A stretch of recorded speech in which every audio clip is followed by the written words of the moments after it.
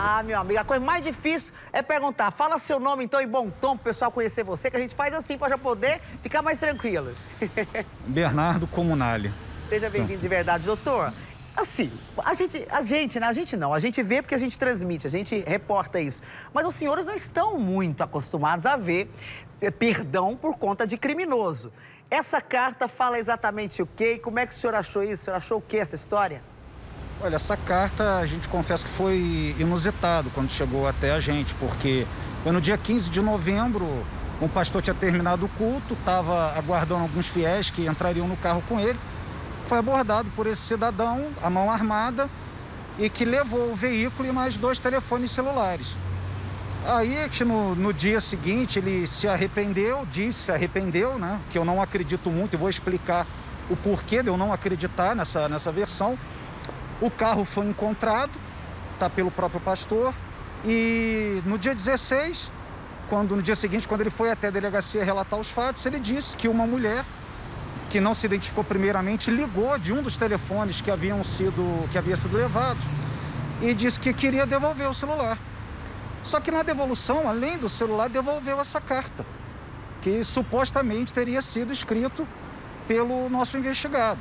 Aí... Acha, doutor, o senhor acha que não pode ser, por exemplo, Deus que tocou o coração dele porque a vítima estava saindo do culto. Isso aí a gente pode derrubar, né, do bilhete, que eu acho que não é isso também, não. Olha, eu sinceramente não acredito. Eu acredito que ele tentou, foi uma manobra, que ele viu que ele ia ser descoberto, tá? Ele, inclusive, ele, ele a gente pode dizer que esse rapaz, ele hoje foi preso três vezes. Porque no dia do roubo, ele estava de tornozeleira eletrônica. Olha.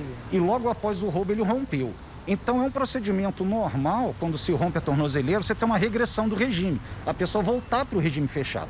Então ele estaria preso por ter rompido a tornozeleira eletrônica, pelo mandado de prisão preventiva que foi cumprido pelos policiais tá, da, da Polícia Civil, e também porque na, no cumprimento do mandado foi encontrada uma moto com ele. E essa moto tinha indícios de adulteração. Mas foi é possível, doutor? É trem demais. Foi. Ah, deixa eu falar, ele tem que escrever a cartinha pro Papai Noel pra Deus, né, tem. né, meu filho? O perdão tem que ser pedido direto, não adiantou usar a vítima, não. É, e essa moto foi confirmada suspeita, ela estava adulterada e era uma moto produto de furto no mês de fevereiro. Então, além do mandado de prisão que a gente cumpriu, a Polícia Civil fez um flagrante de receptação nele no dia de hoje. Então, oh, ele foi preso pai. três vezes.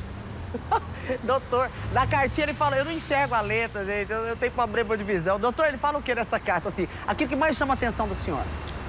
Chamou atenção porque parece que no momento da abordagem, o pastor teria dito a ele que, para ele não fazer aquilo, que Deus teria um plano para ele. E aí na carta ele fala que é isso, ele fala que estava arrependido, que estava de tornozeleira, isso, basicamente isso. Mas assim, o histórico, tanto anterior, né, o histórico, e depois os atos seguinte não, não demonstra esse arrependimento, né? Ah, de jeito nenhum, né, meu filho? Aí ele precisa de mais oração para dar uma consertada, né? Porque eu sempre falo, só Deus muda o bandido que tem um gosto por fazer maldade. Somente Deus. Porque a polícia prende, os caras acreditam que podem continuar aí na vagabundagem. Você vê, rompeu tornozeleira, roubou o senhorzinho e tudo mais.